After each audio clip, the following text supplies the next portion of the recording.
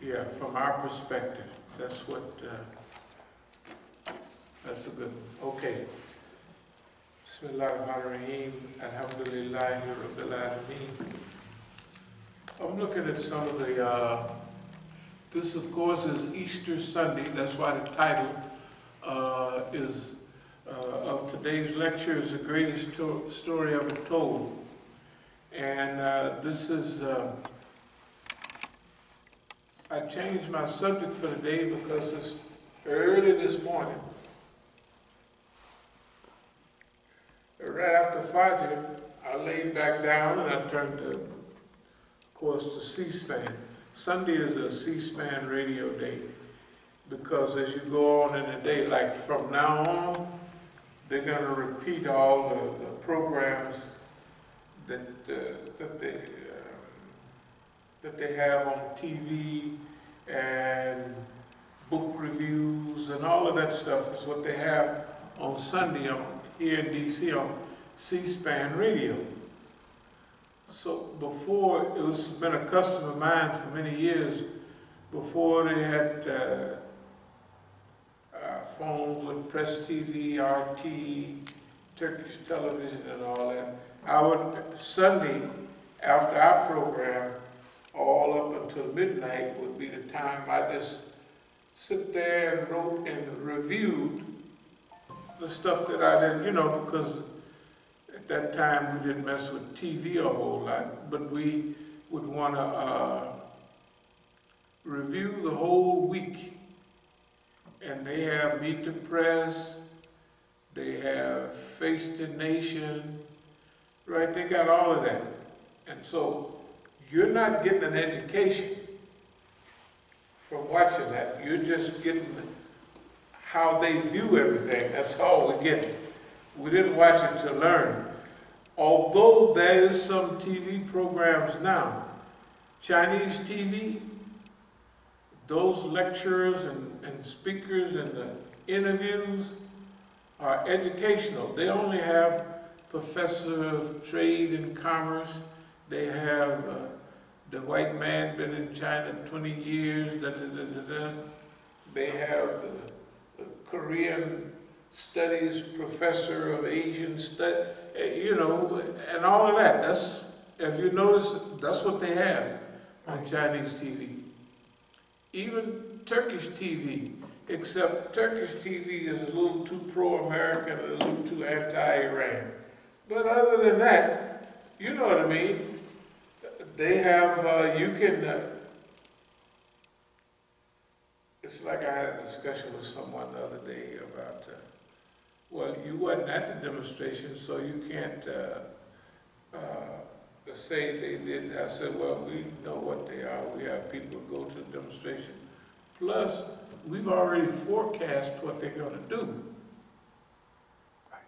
We've been doing this a long time. We don't have to go down there and sit there anymore and use up our time being at, at their demonstration, trying to explain to the people that the demonstration is made up. The children don't have enough wherewithal to organize all of those people. Well, the Oprah helped this, I said, those people are operatives for the system. That's what I mean is the kids don't have all, they, they got a whole list of collaborators. When they say, Miss Sarsour, you go over there and get the women out. Right? She'll call up everybody. The system goes into, and they hook everybody up. You see what I mean? Mm. Pretty soon, you got a million people downtown, half a million people. That's the same thing they did with with uh, with Answer. See, Answer started going over to Iraq back in the eight, and it could have been early. It was the early and mid nineties, and they were doing good programs on, with uh, Ramsey Clark. Now, I don't care what they say. If the Attorney General, ex-Attorney General, the ex-Gestapo leader, is leading the program. The Gestapo was leading the program, but they was doing programs on depleted uranium. And Saddam was saying that's to give them credibility. Now, as time go on, uh, what's the name? Ramsey Clark eases out of the picture. You got Brian Becker, you got his brother, you got, remember Miss Van and all of them people. They make their own experts. Then after they make their experts, when you want to talk about Iraq, like I told them here, when we met downstairs once, I said, if y'all want to get down with the real Iraqi people, I'll, uh, you know, but they got they stooges in Iraq. And I'm telling them, I'll put you, hook you up with the folks, you know what I mean? Uh, Syria and all of that. Uh, they don't want that.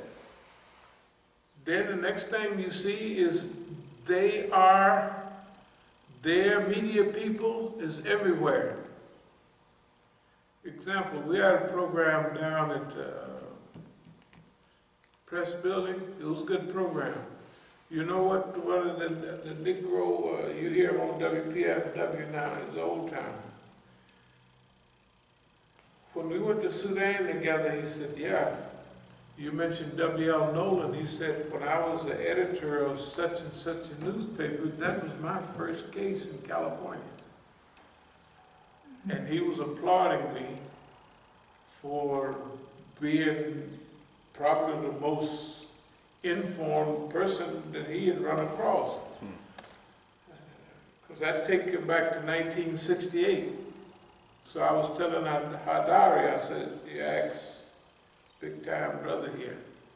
And the brother, we sat all the time in Sudan, we talked about an old group that we was associated with, all the ministers, all, it was really a good live conversation because we knew who we was talking about and nobody else. Yeah. Not to mention that I called him, Well, I had. To tell I had- him about you, left the number and everything, and never got a call back. That's right, that's because that's his job. That's his job. His job is, the point is, you remember our little lawyer friend rolled through here? And remember that, that, that, so people listen to WPFW and they might think, that's all right, okay. When we read this, you will understand, we will, we've been knowing that boss man ain't gonna have no programs that can feed the people the truth without him jumping in there and him feeding the people. So you see, uh, the people that come through here, the rolls EZO, the WPFW, pretty soon they got a press pass to the White House. They got everybody that come here that, that, that they, from RT, they send them. They already plugged in. That's why you can say, oh, uh, they just hit me with RT too regular. They just cut it. Get too much play and the attitude they can't, like Hubert Harris, they can't stand a, a black person with character, ethics, uh, ain't scared of it. Who you talking to? You don't know nothing. And independent. Oh, they can't stand it. So, without going all around, but I have a few newspaper here, a few headlines. Keeping the faith, this is about, uh,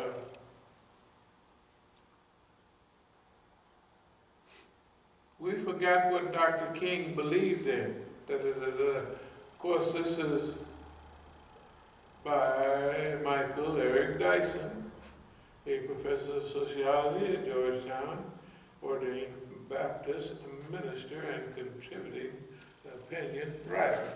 Nice guy, I like him. But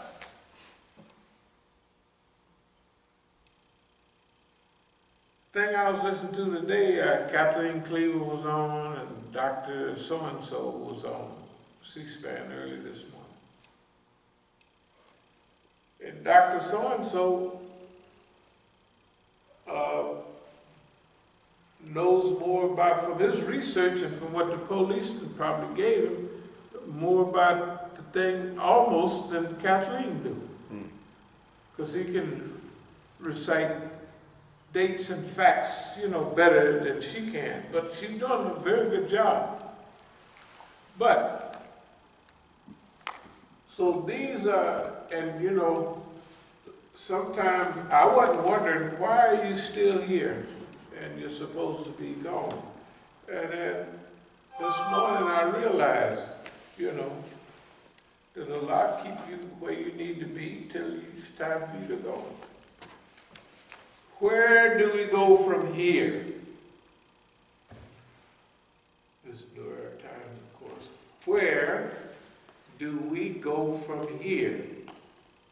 Same question we always put forth. How's it been 50 years? 50 years, you know, like, okay, to tell you the truth, we may think about 50 years ago different than other people. Now, I think about my kids that was born in 97 and 2001. Good God Almighty. Two. Stuff like that. Okay. you know, my youngest daughter asked me one time, there was some historical program, and I talked about it, so yeah, we had those, those cotton wagons, so, you know, everything, and we went over to, uh, Frederick Douglass's place one time. And I saw all the stuff in there, I said, yeah, those are the buckets, this is the kind of buckets that we use.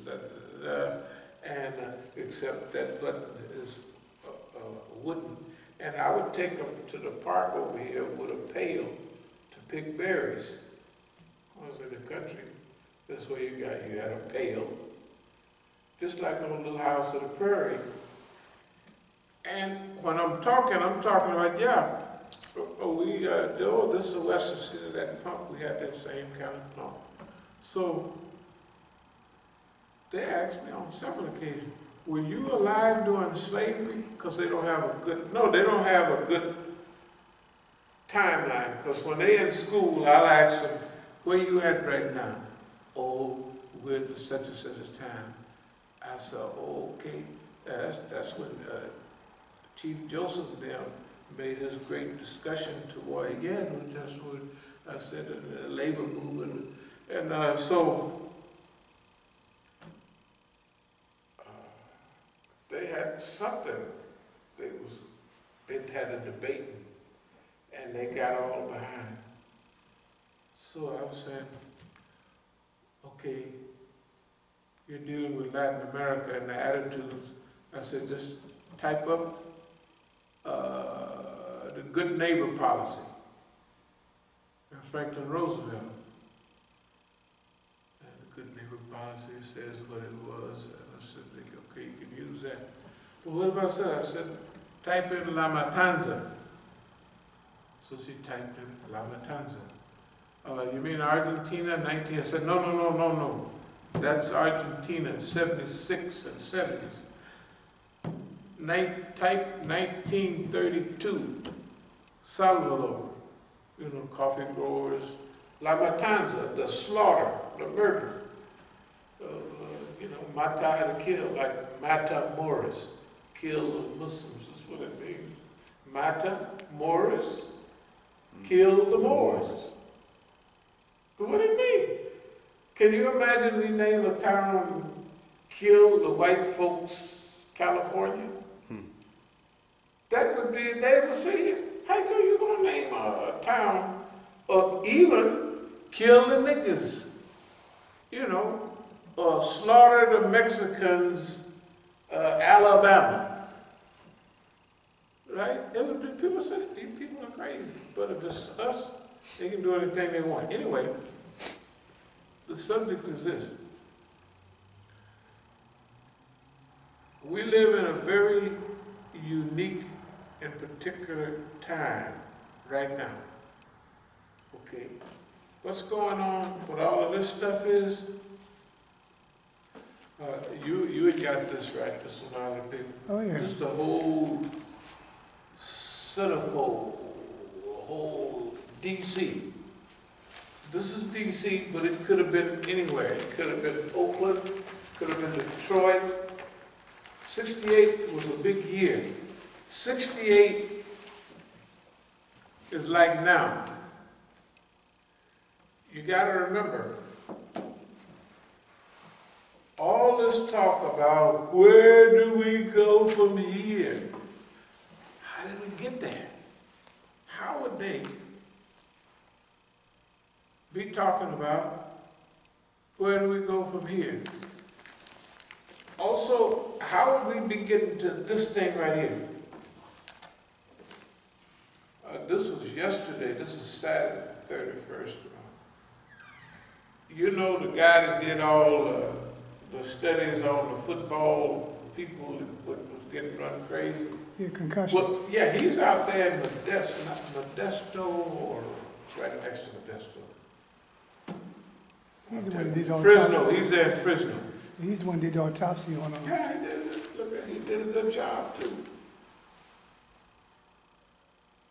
The brother was hit maybe eight times out of twenty shots. He said each one of them was deadly, each one of them except the one in the leg. And the one in the leg, he was hit while he was going down. You know, he was already, uh, And he said they were, that the boy was not facing the police. of course not, he didn't. they- Shot in the back. They got it all right here, this is shot in the back.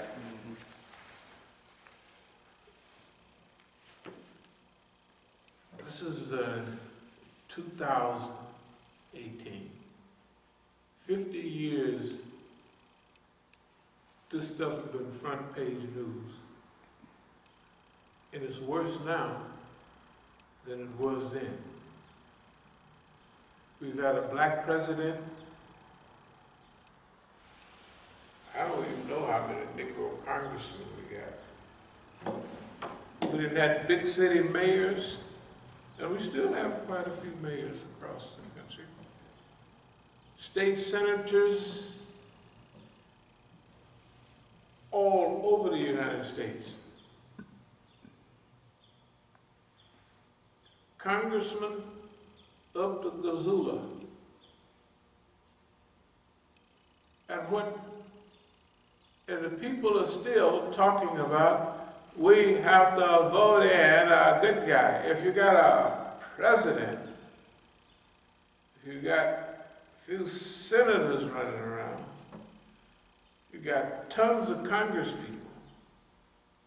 If you didn't have governors and just tons of mayors up to today, city councilmen, head of the board of education all over America. And it's worse now than it was then. Getting back real quick on, uh, Right, the shooting of the guy. right, And you know, when we grew up, we used to watch westerns. yeah. What would they call a person that shot a man in the back that was unarmed? Oh, huh? Coward. Exactly. Of course, yeah. But you don't hear that, you don't hear that language anymore that somebody shoot somebody in the back eight times and no coward. That's a coward. He had a dirty little coward that shot Mr. Howard. In other words, you remember, no, Jesse James' real name was, what was Bob Howard? One of them guys that shot Jesse James. That's what I'm saying. A guy with two first names always get in the back in westerns, you know. But the dirty little coward that shot Mr. Howard, that shot Jesse James, yeah, shot him in the back, you know. Uh, can you imagine? The people don't imagine. They forget the power that they have. A dumb high school graduate, barely graduate, or two years of junior college police officer. He has the badge, the gun, the environment give him the right to kill. This is a drug neighborhood, high crime. Therefore, this is back 40 years ago. Therefore, we have a right to search cars, and there may be weapons around, so there's no such thing as illegal search and seizure in the black community. This is not new. They've been, now you could beat the case if you kind of wealthy Negro, you know, if they, but you can't beat it just, you got a public defender and you just cause you're innocent. The point is, we have technically way less freedom. Not black people, but Americans. All the sci-fi stuff, all the telephones, they snatching everything, you know, the right to privacy. You don't hardly hear that anymore. But it's not constitutional. Well, if you read all of what it says, it gives you the exclusive right. And they throw out, like the stuff Imam Jamil, uh, habeas corpus. Why do you have the body? That was a great thing because we could always, we'd exhausted every rule, every remedy to get out of prison. And then you file a writ of habeas corpus. Why do you have the body? And they have to prove why we have the body in jail. That's what habeas corpus means. Why or do you have the body? You don't hardly hear about habeas corpus. Illegal searches and seizures. Every, we're gonna get to what they did to the people. We're gonna show what they did, and when by you finish, you'll see what they did with this. Why all the Negroes? Who is everybody? So, let's start off with just a simple handout that we always handed out. It's called, this is uh, COINTEL program. Let's start with uh, we'll start in, in the order of, this is August 28, 1956. Communist Party USA Counterintelligence Program Internal Security. This is a memorandum of the United States government. During its investigation of the communists, uh, Party USA, the Bureau has sought to capitalize on incidents involving the party and its leaders in order to foster factionalism, bring the